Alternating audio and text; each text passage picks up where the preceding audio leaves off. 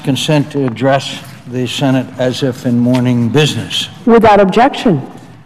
Madam President, today we commemorate the 20th anniversary of the Rwandan genocide.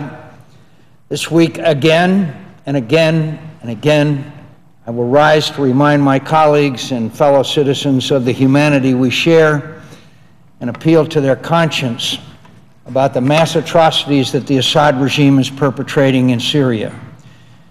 This past Sunday, the world joined Rwanda in marking 20 years since the beginning of the genocide that claimed the lives of more than 800,000 innocent men, women, and children. As we reflect on our failures to stop the genocide there, I can't help but think of the lessons we learned from Rwanda and those we didn't. As President Obama stated in his remarks on Sunday, and I quote, the, Rwandan genocide was neither an accident nor unavoidable. The genocide we remember today and the world's failure to respond more quickly reminds us that we always have a choice. In the face of hatred, we must remember the humanity we share. In the face of cruelty, we must choose compassion. In the face of intolerance and suffering, we must never be indifferent. I, I couldn't agree more with the President of the United States. The United States, along with the international community, failed to take the necessary action to prevent a tragedy in Rwanda. We chose to ignore the death of hundreds of thousands of people, and in so doing, we forsook our humanity. And now we're dangerously close to doing the same in Syria. Well, I'd like to believe that never again means something in this context. I look around the world today and I'm haunted by the fact that we simply haven't learned the fundamental lesson from Rwanda that preventing the slaughter of innocents means taking hard political action. Nowhere is this truer than in Syria, where President Bashar Assad regime continues its brutal assault against the Syrian people with increasing ferocity. The slaughter of innocent men, women, and children is being carried out by Syria's national army and loyal paramilitaries as a result of state policy. And the terror continues to escalate every day that Assad's crimes go unpunished. The regime has accelerated attacks against civilians by indiscriminately dropping barbaric barrel bombs on mosques, schools, and bakeries, systematically detaining, torturing, and killing thousands of people, including hundreds of children, and starving entire neighborhoods to death? It was over five months ago that Secretary John Kerry wrote that, quote, the world must act quickly, unquote, to, quote, to stop, quote, a war of starvation, unquote, being waged by Assad's regime against huge portions of the populations. Yet the world did nothing and hundreds have died of starvation and thousands in those five months. Eventually, the international community responded by passing Resolution 2139 through the UN Security Council, which ordered the regime to promptly allow unhindered humanitarian access and threaten further consequences for noncompliance. This was two months ago, and yet again, the world did nothing to back the resolution. In fact, the UN humanitarian coordinator Valerie Amos reports that the war of starvation has worsened since its passing. The number of Syrians cut off from aid has grown since January by over 1 million people.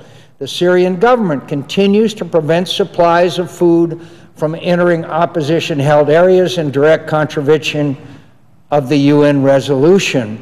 And it is using U.S. provided humanitarian aid as leverage in its war against the people. Meanwhile, Iran sends 30,000 tons of food supplies to Assad's regime. While children starve throughout Syria, the government is at least well fed.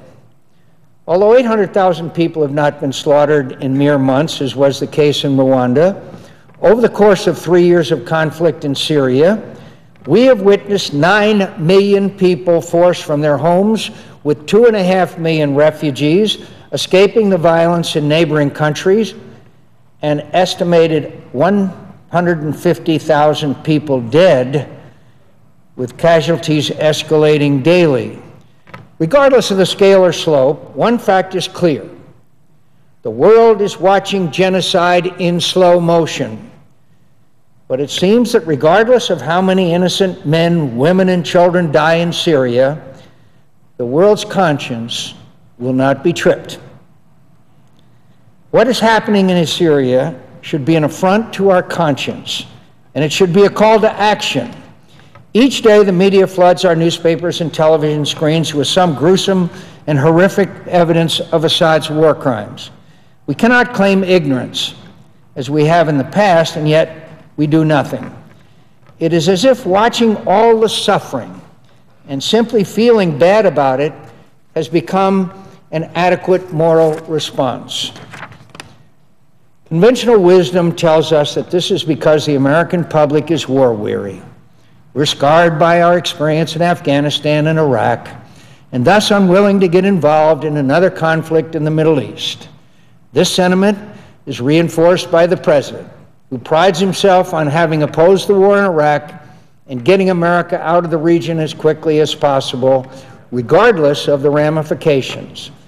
He has emphasized the need to, quote, contain the conflict in Syria, calling it a civil war, and neglecting the dangerous spillover effects we are already witnessing, including the destabilization of all of Syria's neighbors and the growth of an Al Qaeda safe haven in eastern Syria and western Iraq. Following the president's lead, the American public has largely applauded his restraint and opposed greater U.S. involvement in Syria. But in so doing, we have again failed the leg legacy of Rwanda. Stopping the slaughter in Syria will require difficult political action, but it's not only profoundly in our national interest to act, but also our moral obligation to do so. In his remarks on Sunday, President Obama said that we should be reminded of, quote, our obligations to our fellow man, unquote. And as president, he is the one who should be showing to the American people why it is so vital to our national interest to carry out our moral obligations to our fellow man. Our policy should be determined by the realities of the moment, not by today's isolationism dictated by the past.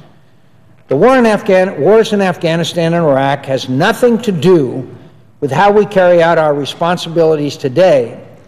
And let there be no mistake, we have a responsibility to stop genocide when we see it happening, as in Syria. Never again should mean something, whether or not we are paralyzed by war weariness. Of course, we'd all like to see the slaughter of Syria's innocent men, women, and children be stopped by diplomacy and through nonviolent means. We all want an end to the violence. We all want to believe that a political solution is possible. But there are only two ways to end the violence. One is for all parties to put down their weapons, something that President Bashar Assad and his Iranian partners are clearly unwilling to do, as they believe a military solution is possible. So that leaves us with only one other option to neutralize the party dedicated to the slaughter of innocents and force it to put down their guns. There are options to achieve this goal that fall far short of putting boots on the ground. We do not need to concede and allow genocide to continue or to go to war to prevent it. There are steps in between that the United States, along with our international partners, can take to stand by our international commitments and guarantees of protection. President Assad has already shown that UN resolutions mean nothing to him, and he has no intention of negotiating his departure through the Geneva process. It is clear that military pressure is the only lever that will convince Assad that a political solution is in his favor. We must be ready to prove to Assad that not achieving a diplomatic solution will cost his regime dearly. And there are meaningful actions we can take to help in Syria that will not require us to rerun the war in Iraq. It is not a question of options or capabilities. It is a question of will. There's a famous quote that states, all tyranny needs to gain a foothold is for people of good conscience to remain silent. As we sit back and place our hopes on negotiations and meaningless guarantees of protection, we watch as hundreds of innocent men, women, and children are brutally slaughtered every day. Reinvigorated Al Qaeda affiliates operate with more freedom than ever before. Terrorist groups loyal to Iran proliferate and threaten our allies. And the region descends into chaos and turmoil that will inevitably reverber- reverberate back here in the United States of America. This is the price we will pay for choosing to remain disengaged, and the consequences to U.S. national interests will be felt. Madam President, I ask unanimous consent that the Reuters story entitled Assad Says Fighting Largely Over by the End of the Year, a statement by the for, former Russian Prime Minister. Um, Assad's strength now lies in the fact that, unlike Yanukovych, he has practically no internal enemies. He has a consolidated, cleansed team, etc. I also ask unanimous consent that the statement entitled Hezbollah confident in Assad, West resigned to Syria stalemate be included in the record. Without, without objection. And Assad's, I, I won't include it in the record, but there's an interesting article. Syria's Assad secure will seek re-election. That statement by the Hezbollah leader. And to show, I think, the really incredible, incredible naivete there's an article in the Washington Post by Secretary uh, entitled Kerry, U.S. strike in Syria wouldn't be devastating. the Secretary of State says it would not have had a devastating impact by which he had to recalculate because it wasn't going to last that long. Kerry told the Foreign Relations Committee, here we are going to have one or two days to degrade and send a message. We came up with a better solution we came up with a better solution. We came up with a better solution. The President of the United States said that if Bashar Assad crossed a red line and used chemical weapons, we would act. He announced that we would act. All our allies knew we were going to act. Then he took a walk with his national security advisor and said he was going to go to Congress. Meanwhile, Senator Kerry, in a in a bizarre, incredible act, issued a statement that any attack on Syria would be, quote, incredibly small. That's, that's, it's remarkable. And finally, I say, and I see my colleagues here, our consciences should be shocked, but they're not. We get kind of immune to day after day after day of these various reports of the slaughter that's going on. Look at, look at the situation in Syria three years ago and look at, at it today. 150,000 dead, millions displaced, entry of, of jihadist fighters from all over the world, They continue brutal bombing with, with barrel bombs, which slaughter innocent men, women, and children, and our Secretary of State says, well, it wouldn't have been much if we'd have struck them anyway.